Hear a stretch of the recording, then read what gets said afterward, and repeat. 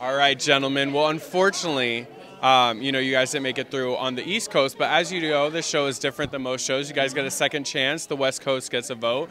Um, how do you guys feel about your performance, though? Do you think you picked the right song, or what do you think it was that didn't get you guys through tonight? I think it was America just not being ready for a group yet, you know?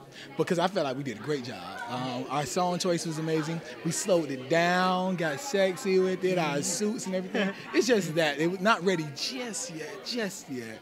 At the end of the day, we can't please everybody, Yeah. But we do love the ones that do accept who, Yeah. what we do and who we are. Exactly.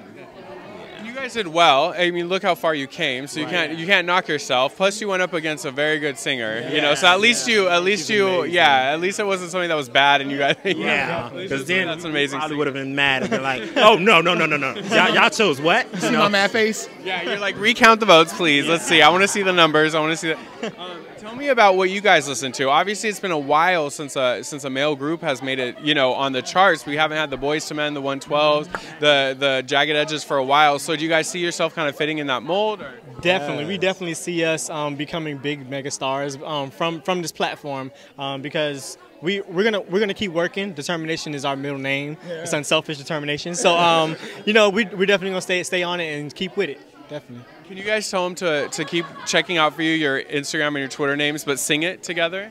Hey, keep checking us out on Unselfish uh, Instagram, Twitter, and Facebook. That's Unselfish, the number four. You And- get all that Unselfish number four. And we are oh, unselfish in the building. Thank you. All right, guys. Good luck.